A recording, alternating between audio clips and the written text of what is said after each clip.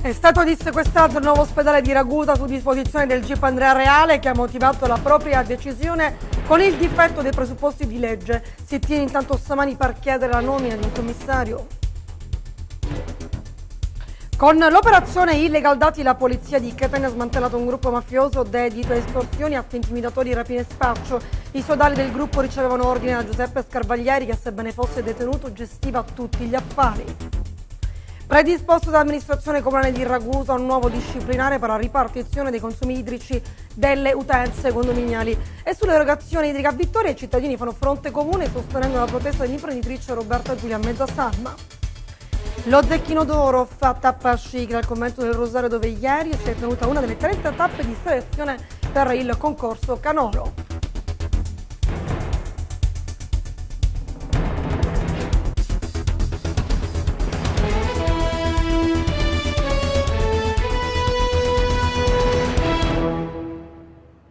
Ancora ben trovati a MTG.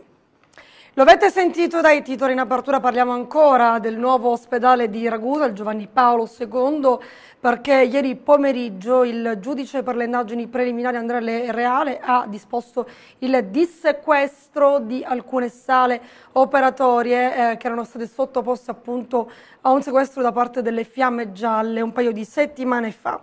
Il giudice per le indagini preliminari ha motivato la propria motivazione con il difetto dei presupposti di legge. Intanto stamani davanti alla sede dell'ASP 7 di Ragusa si tin per chiedere la nomina di un commissario che gestisca il trasferimento dai vecchi ospedali al nuovo promosso dalla CGL. Ce ne parla Carmela Minardo difetto dei presupposti di legge. Con questa motivazione il giudice per le indagini preliminari Andrea Reale ha disposto il dissequestro del nuovo ospedale di Ragusa. Il provvedimento depositato nella tarda mattinata di oggi consente il completamento della struttura che dovrebbe essere operativa il prossimo 21 luglio quando verrà consegnata ai vigili del fuoco la scia.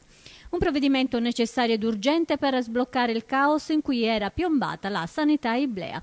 Le sale operatorie infatti non erano più disponibili al civile per il mancato trasferimento bloccato dall'indagine della Guardia di Finanza. Oggi il Tribunale ha deciso di togliere i sigilli, nominare un commissario ad acta per gestire il trasferimento dei due ospedali, il civile e il Maria Paterno Arezzo, al nuovo ospedale di Ragusa Giovanni Paolo II. Per dare forza a questa richiesta la CGL è scesa in piazza con un sit-in qui davanti alla sede dell'ASPE in piazza Igea. Accanto a loro anche le forze politiche della città. Eh, noi abbiamo titolato diciamo, questa nostra iniziativa come caos nella sanità iblea perché abbiamo gli ospedali vecchi di Ragusa che sono dimezzati nelle loro funzioni, nelle loro prestazioni sanitarie. Quello nuovo eh, non funziona. E poi molte eh, diciamo, attività eh, sanitarie, molti interventi anche di tipo chirurgico e soprattutto le emergenze sono tutte stornate negli ospedali di Modica e di Vittoria, intasando lì eh, anche il lavoro ordinario, tenendo conto che poi siamo nel periodo estivo, tutto questo si moltiplica. E sui presunti casi di malasanità il segretario Scifo ci va con i piedi di piombo. No, non abbiamo ovviamente elementi di certezza, la nostra preoccupazione è di sì, ma su questa cosa però non, non vorremmo né strumentalizzare né tantomeno dire, eh, utilizzare una vicenda che ha già comportato tanto dolore per, eh, per i nostri fini. Temiamo che però il rischio sia grande da questo punto di vista. In piazza anche cittadini sordomuti a cui è stato spiegato attraverso il linguaggio dei segni i motivi della protesta. Presenti anche un gruppo di precari della manutenzione a cui è stata negata la stabilizzazione in favore di appalti esterni. Sono uno dei precari dell'ASP, siamo qua, ci stiamo associando a questa manifestazione per chiedere i nostri diritti che noi ci hanno negati da tre anni il direttore generale ha deciso di non farsi lavorare più. E c'è chi ha voluto emulare il manager Aricò immortalato nei giorni scorsi mentre consegnava una rosa ad una paziente. In questo caso però il gesto non è stato gradito. Dura la reazione del personale dell'azienda sanitaria. La Commissione Sanità al Senato ha approvato nei giorni scorsi un emendamento al decreto legge sui vaccini che va oggi in aula a Palazzo Madama sul potenziamento delle funzioni dei consultori familiari per quanto riguarda la diffusione delle informazioni sulle disposizioni del decreto Lorenzin. L'emendamento con prima firmataria la senatrice Venerina Padua punta a un obiettivo ben preciso, potenziare la rete sanitaria legata ai servizi territoriali.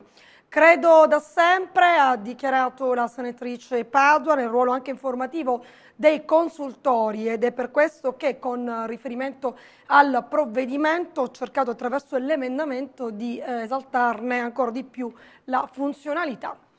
Adesso apriamo la pagina dedicata alla cronaca perché con l'operazione Illegal Dati la Polizia di Catania insieme con quella di Adrano ha smantellato un gruppo mafioso dedito a estorsioni, atti intimidatori, rapine e spaccio.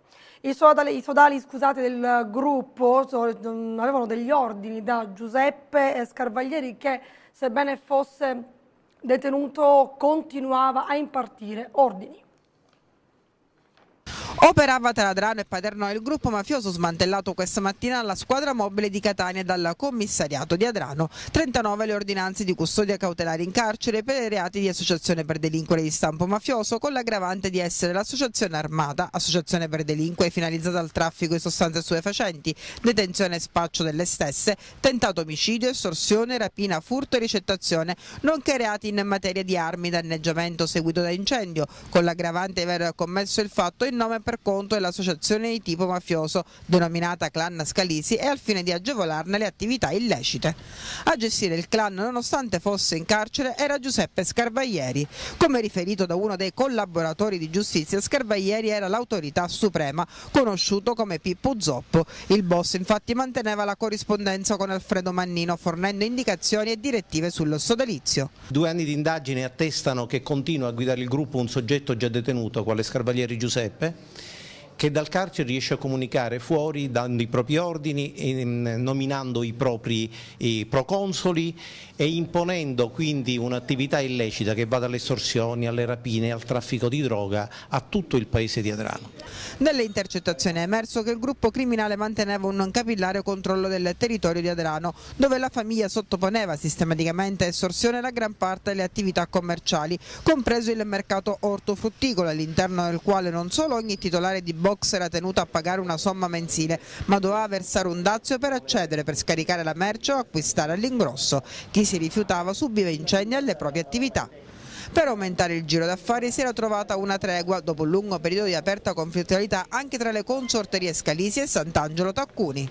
Il, queste organizzazioni tradizionalmente sempre contrapposte tra di loro nell'ambito dell'estorsione del mercato ortofrutticolo si dividevano al 50% le piazze e per quanto la, riguarda la droga addirittura il clan Scalisi che, facciamo, che fa parte come voi sapete al clan Laudani e mh, acquistava droga dal clan Sant'Angelo che invece è il referente della famiglia Santa Paola di Cosa Nostra a Catania.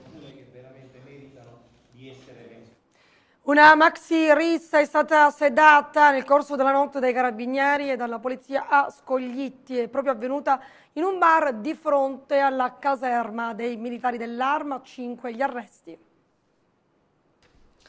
Si spostano da un bar all'altro per bere in compagnia, poi si azzuffano per aver alzato troppo il gomito, successivamente vengono trasferiti in ospedale e poi si ritrovano con le manette ai polsi con l'accusa di risa aggravate e lesioni personali.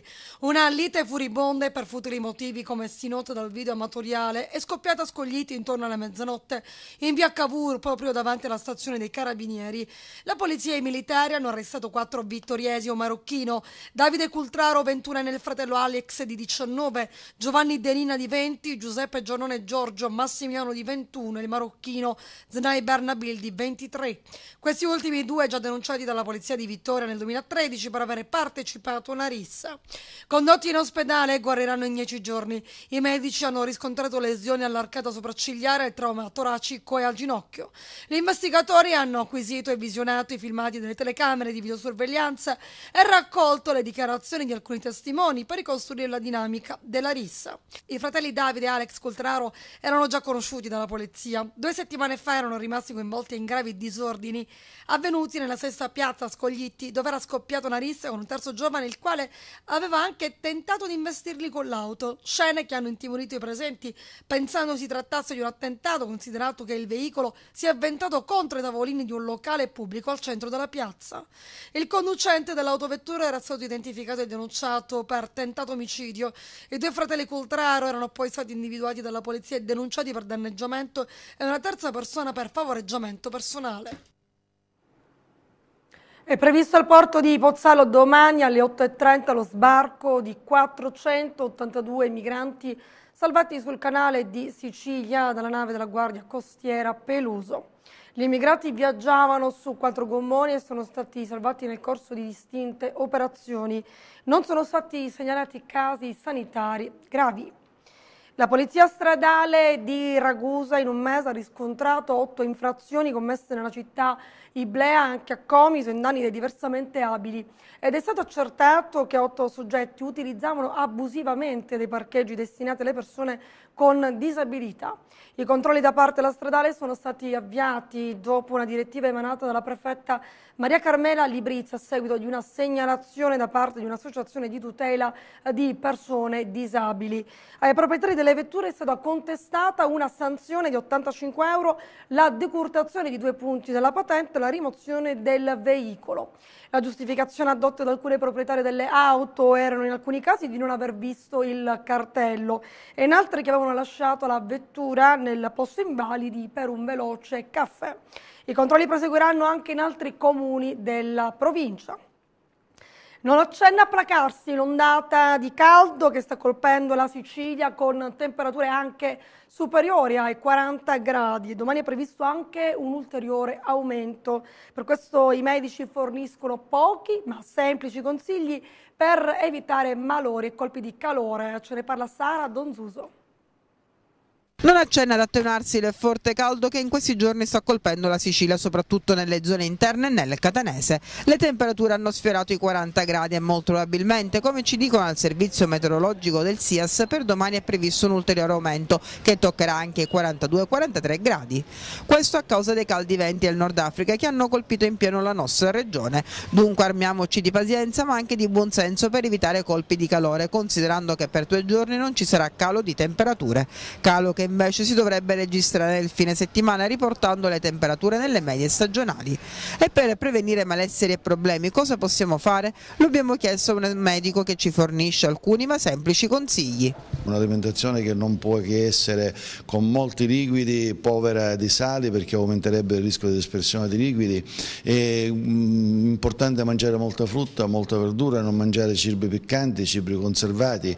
È importante eh, l'abbigliamento, non tessuti sintetici che non lasciano traspirare, ma semplicemente tessuti di cotone all'antica. Poi importante non uscire nelle ore più calde del giorno, è noto quali sono le ore più calde del giorno, importante anche fare attenzione per tutti quei soggetti che assumono farmaci per certi tipi di malattie di tipo neuropsicologico che potrebbero entrare in sinergia con queste ondate di calore, per cui è importante che chi assume un certo tipo di farmaci importanti si rapporti col proprio medico curante per consigliarsi se mantenere o no quel tipo di farmaco e il dosaggio del farmaco. Comunque è importante dire che l'ASPA ha una rete di interventi sui soggetti fragili in sinergia con la Regione Siciliana, col Ministero di cui siamo relatori e referenti, oltre che con la società civile, le associazioni, le caserme dei carabinieri, le parrocchie e molti altri enti sul territorio. È stato predisposto dall'amministrazione comunale di Ragusa un nuovo disciplinare per la ripartizione dei consumi idrici delle utenze condominiali. Il nuovo provvedimento è stato presentato questa mattina nel corso di un incontro con i giornalisti dell'assessore al bilancio Stefano Martorana. Un percorso innovativo per risolvere le criticità rispetto alle morosità del canone idrico nei condomini. L'amministrazione comunale di Ragusa ha predisposto un nuovo disciplinare per la ripartizione dei consumi delle utenze. Il provvedimento è stato illustrato stamani a Palazzo dell'Aquila dall'assessore al bilancio Martorana e dai dirigenti Scrofani e Criscione. Gli amministratori potranno comunicare il criterio di riparto dei singoli condomini entro il 30 settembre consentendo così al comune di perseguire i morosi. Sì, abbiamo voluto cambiare le regole per quanto riguarda i consumi idrici, questo perché in tantissimi condomini eh, i contatori sono individuali, sono condominiali e quindi spesso diventava difficile eh, riuscire a consentire a tutti di, di, di pagare eh, diciamo, interamente. C'erano ovviamente condomini che pagavano, condomini che non pagavano e questo creava confusione agli amministratori di condominio e soprattutto rabbia in quei eh, condomini che erano in regola con i pagamenti mentre magari i loro oh, vicini di casa eh, non, non avevano pagato opportunamente. Sarà possibile anche chiedere l'installazione di singoli contatori e di poter usufruire ugualmente del bonus idrico per gli utenti che ne hanno diritto perché hanno un reddito ISE di circa 6.400 euro. Eh, I criteri di riparto saranno definiti dall'assemblea condominiale, quindi se l'assemblea condominiale eh, vorrà decidere l'installazione per l'installazione dei contatori individuali potrà farlo e quindi ripartirà questi consumi sulla base dei consumi individuali. Viceversa, eh, qualora non fosse possibile l'installazione di contatori individuali per motivi tecnici di varia natura, sarà possibile utilizzare un criterio di riparto in percentuale oppure secondo quote eh, legate rimandate proprio alla decisione dell'assemblea condominiale. Tutto eh, è lasciato alla decisione dell'assemblea condominiale che potrà decidere un criterio, eh, quello più opportuno. A noi interessa questa comunicazione, una volta comunicato il dato e il criterio di riparto, il Comune fattura sulla base di questi elementi.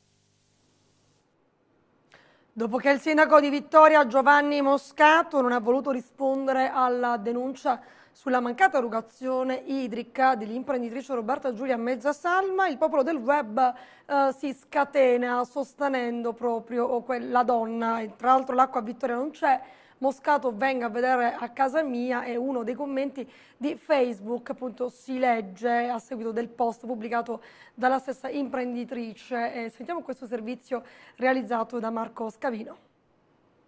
Sono gli stessi cittadini di Vittoria a smentire quanto detto dal sindaco Giovanni Moscato in riferimento al caso dell'acqua. Il disservizio che da mesi mette in ginocchio il centro cittadino e Parino è stato denunciato dall'imprenditrice Roberta Giulia Mezzasalma, che con contributi video pubblicati su Facebook ha reso note alla città tutte le sue azioni, dalle chiamate agli uffici del comune alle visite al palazzo di città, per chiedere conto e ragione di che fine avesse fatto il liquido prezioso.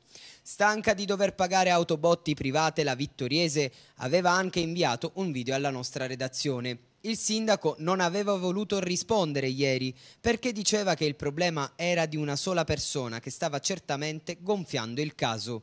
Ieri Roberta ha condiviso il nostro servizio di risposta di Moscato sulla propria bacheca e a giudicare dai commenti pare proprio che la presa di posizione del primo cittadino di Vittoria non sia piaciuta al popolo del web. Il disservizio idrico non è solo di Roberta, sottolinea un utente Facebook, a cui si aggiunge un terzo che scrive Roberta, io e la mia famiglia presenteremo atto formale domani al comune, sei dei nostri? Un uomo di nome Giuseppe chiede di essere tutti uniti un altro invece scrive Messi su una bilancia non se ne salva nemmeno uno, il cambiamento dobbiamo farlo noi cittadini. Poi, ancora scorrendo tra i numerosi commenti al post di Roberta, si legge È una vergogna, sono appena rientrato dalla fontana della pace per prendere un po' d'acqua per poter fare una doccia. Ed una donna risponde Quando ci sei stato? Si era smaltita la fila? Quanti rubinetti funzionanti ci sono? È già dall'anno scorso che man mano che si sono rotti non li hanno più sistemati. Insomma, il problema dell'acqua Vittoria c'è e Roberta non aveva tutti i torti stando alle numerose condivisioni di pensiero e testimonianze riportate su Facebook, tra cui proponiamo quella di Elisabetta. Caso gonfiato, ma perché non viene a vedere lui di persona? A me l'acqua non manca, ma a quanto pare mezza città è senza. Nuovi orari per il conferimento della spazzatura Scoglitti nel centro storico. I rifiuti potranno essere esposti a partire dall'una fino alle tre di notte. Il provvedimento dell'amministrazione comunale comunque è stato accolto complessivamente in modo favorevole dai residenti della frazione balneare. Noi questa mattina li abbiamo sentiti. Eh, stiamo parlando della zona del centro storico di Scoglitti, dove insistono i locali e dove è normale che anche i turisti facciano la loro passeggiata, così come i residenti vittoriesi. Io penso che sia una questione di civiltà evitare che la gente mentre passeggi faccia gincana tra i vari mastelli o i vari, i vari sacchetti alla spazzatura. Il sindaco di Vittoria Giovanni Moscato è convinto che è necessario seguire l'esempio dei più importanti luoghi di villeggiatura, imponendo così per il periodo estivo nuovi orari di conferimento della spazzatura nel centro storico di Scoglitti. I rifiuti potranno essere esposti a partire da luna di notte sino alle 3, provvedimento che piace comunque ai residenti. È sicuramente un'opportunità perché la gente fino a quell'ora passeggia, eh, si prende il gelato. Eh, è normale che la spazzatura viene messa in quell'orario più tardi possibile e addirittura faccio una proposta che nel lungomare le macchine non dovrebbero passare mai perché le persone non, cioè il marciapiede è occupato, le persone devono camminare sulla strada. Sì, perché secondo me sì, perché facendo tardi la sera e, e poi la gente che passa, che i turisti vedano la spazzatura prima, sì, per me è giusto fatta eccezione per qualcuno che lo giudica troppo restrittivo. Porre la spazzatura dall'1 alle 3 di notte nella frazione di Scoglitti nel centro storico è giusto per lei? Per me no, però secondo me è troppo tardi perché eh, all'una se uno è già a letto si deve alzare per mettere la spazzatura, perciò... Veramente non è giusto nemmeno a Vittorio, sia né a Scoglitti né a Vittorio, perché non lo so il comune, il sindaco perché ha usato questa situazione. Perché in molti paesi ci sono le isole ecologiche, però non lo so, certo ora col caldo è impossibile. Allora per quanto riguarda la spazzatura sinceramente l'amministrazione effettivamente ha fatto passi da gigante e sono contentissimo, però eh, purtroppo ci sono alcune pecche che magari forse quando all'inizio è stata fatta questa storia della differenziata non si è pensato alle zone periferiche del, del nostro territorio perché le, le zone periferiche del nostro territorio purtroppo eh, sono in, eh, in, piena campagna dove si producono eh, le, le, più svariate sostanze inquinanti, quindi si doveva prevedere purtroppo, cosa che non è stata fatta. Il Consiglio dei Ministri sul proposta del Presidente Gentiloni ha deliberato ieri lo stato di emergenza per la provincia di Ragusa a seguito del nubifragio del 22 gennaio scorso. A darne notizia è l'onorevole Nino Minardo, deputato nazionale che ha seguito sin dall'inizio l'iter della delibera, promuovendone l'approvazione al governo nazionale ma anche sollecitando la regione siciliana per lungo tempo, si legge nella nota, inerte rispetto alle richieste ministeriali. Nelle prossime ore, ha fatto sapere il parlamentare, diffonderemo anche il contenuto della delibera le relative previsioni a favore di privati, imprese ed enti pubblici, oltre a mantenere l'impegno a lavorare per semplificare le procedure di accesso ad agevolazioni e provvidenze. Ci fermiamo per una breve pausa, torniamo tra poco. Ancora ben trovati in studio, torniamo a parlare ancora della querella aperta a Modica per la mancata consegna di alcune opere pubbliche dell'amministrazione comunale. Risponde al consigliere comunale Giovanni Scucces, consegnando invece i lavori di riqualificazione della strada vicino San Luca il sindaco Ignazio Abate. Proprio questa mattina il primo cittadino è andato nei luoghi che saranno interessati dai lavori. Ieri il consigliere comunale Giovanni Scucces è tornato a sottolineare come la strada che si sviluppa tra Contrada Quartarella e il polo commerciale di Modica e che passa dinanzi alla chiesa di San Luca non era stata ancora oggetto di interventi. Quest'ultimi erano stati promessi per il mese di luglio dal sindaco di Modica, Ignazio Abate. Oggi il primo cittadino risponde e lo fa in modo concreto, in effetti. Oggi, infatti, sono stati consegnati i lavori della strada, che adesso avrà una carreggiata da 6 metri e mezzo, illuminazione pubblica e qualche piccola area di sosta. Sarà più sicura, ha detto Abate, che in riferimento ai costi inferiori a 100.000 euro, evidenziati dal consigliere Scucces, risponde Faremo un'opera che da 40 anni attende di essere tenuta in considerazione. A lavori ultimati ci direte se i 100.000 euro erano pochi. E poi continua a rispondere così. La strada Fosso Tantillo Pirato, oggetto anche di una interrogazione del consigliere Scucces, diventa realtà. Il consigliere Scucces infatti si era fatto promotore di una raccolta firma, una petizione, arriva infatti proprio da questa strada una petizione popolare per richiedere che venga inserita nel piano delle opere pubbliche, oggi invece la consegna dei lavori. Eh sì, il consigliere Scucces arriva tardi, forse perché la doveva realizzare quando è stato assessore al comune di Modico è stato consigliere nei decenni passati. Questa amministrazione ha pianificato con i propri consiglieri, con i propri rappresentanti di quartiere gli interventi in tutta la città. E quest'opera è stata programmata e sarà realizzata in tempi velocissimi, quindi in quest'estate verrà allargata la strada grazie alla cessione a titolo gratuito dei, dei proprietari dei terreni, sarà realizzata la pubblica illuminazione, sarà fatto il manto, sarà realizzato il manto stradale. E andremo anche a sistemare la parte un po' problematica della piccola rotatoria che si trova davanti alla chiesa, alla chiesa di San Luca. E a Marina di Modica nasce la polemica per i giochi in spiaggia, molti bagnanti che lamentano che il loro relax venga compromesso dalle continue pallonate. Bambini, ragazzi ma anche adulti che non rispettano i bagnanti e il loro relax. È la denuncia che arriva da un gruppo di bagnanti di Marina di Modica che in queste settimane ha contattato la nostra redazione per denunciare come nella frazione Riverasca Modicana in spiaggia si registrino episodi di maleducazione prevalentemente. Tanti bambini che prendono a calci il pallone poi con conseguenti pallonate in faccia ai bagnanti che proprio in quel momento stanno prendendo il sole sole. Siamo proprio nella spiaggia di Marina di Modica per raccogliere la testimonianza dei modicani e non solo per vedere che cosa ne pensino. Allora, io sono da parte dei bambini che è giusto che giocano e anche se disturbano un pochino, io invece sono contrario all'uso del vetro in spiaggia visto che ieri ho raccolto tre bottiglie rotte. Quindi questo è più importante forse vietare la vendita di birra in bottiglie e darla sui bicchieri che no che i bambini giocano a spiaggia. Beh io innanzitutto mi viene da pensare che sono stato diciamo giovane giovane anch'io e anch'io adesso mi rendo conto col seno del poi di aver magari disturbato la gente che adesso come me invece vuole insomma, essere sicuramente più rilassato con i bimbi più piccolini.